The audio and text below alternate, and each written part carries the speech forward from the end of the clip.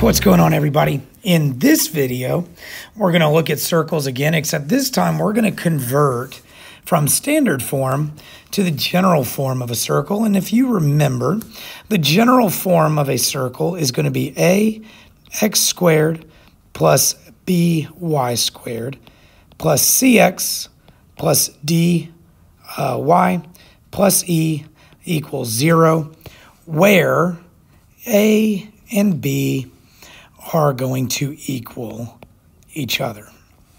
Now, there's another video that discusses the difference uh, within conic functions when they're in their general uh, forms. But for circles, A and B are always going to be positive. Always going to be positive for circles. And A and B will always be the same. So if those are ever different, if they're ever negative, or one of them is um, a different number than the other, you're no longer dealing with a circle. So that's another video for another time. In this video, we're going to convert from standard to general. So let's go ahead and jump straight into our first example. So when I see this problem and they're saying, hey, convert from standard to general form of the circle, what I want to do is I want to simply FOIL these two out. And if you recall what that means, when I have a polynomial squared, one of the most missed things I see is people distributing this 2, that squared term, into the parentheses. Well, that's not what this means. For us, I have x plus 10 times x plus 10 plus y plus 3, y plus 3, and as reversing our procedure, I'm going to move that 49, that constant term, back onto the side of my variables because I want my right-hand side to equal 0. So now we're going to FOIL. Oops, if I could spell FOIL. Now remember, with FOILing, we're going to tackle our first terms first. So x times x gives me x squared. Then we have our outside. So our outside x times our outside 10 gives me 10x. Then we have our inside. So inside 10 times inside x gives me 10x. And then we have our L, which means our lasts. So we have 10 times 10 gives me 100. So we're going to follow the exact same procedure with our y terms here. So I'm going to get y squared. y times 3 gives me plus 3y. 3 times y gives me plus 3y. And 3 times 3 gives me 9 minus 49 equals 0. Go ahead and combine our like terms here. Obviously, x and y's are not like terms, but we are cleaning up. So we have x squared plus 20x plus 100 plus y squared plus 6y plus 9 minus 49 equals 0. Now I can combine my constants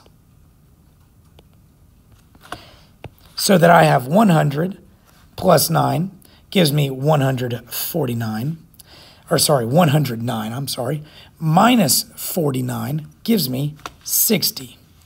So I can rewrite this as x squared plus 20x plus y squared plus 6y plus 60. And then, again, I want it in the ax squared plus by.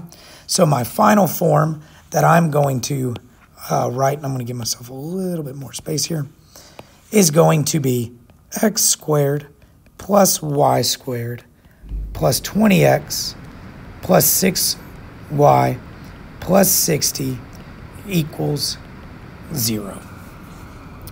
And now I'm in my general form of a circle. So, very easy, not too difficult.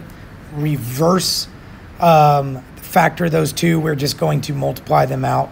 We're going to FOIL them, and then we combine our like terms. Very, very simple. Let's do it again here. This time we'll kind of speed it up a little bit. I have x plus 9 times x plus 9 plus y minus 10 times y minus 10 minus 64 equals 0. I'm going to FOIL these. So uh, my first times my first gives me x squared plus 9x plus 9x plus 81 plus y squared minus 10y minus 10y minus plus, sorry, 100. Negative 10 times negative 10 gives me a positive 100. Minus 64 equals 0. Combine, simplify. I have x squared plus 18x plus 81 plus y squared minus 20y plus 100 minus 64 equals 0.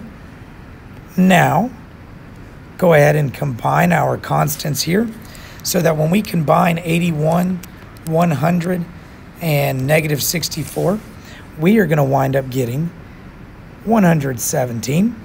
And I can say x squared plus y squared plus 18x minus 20y plus 117 equals 0.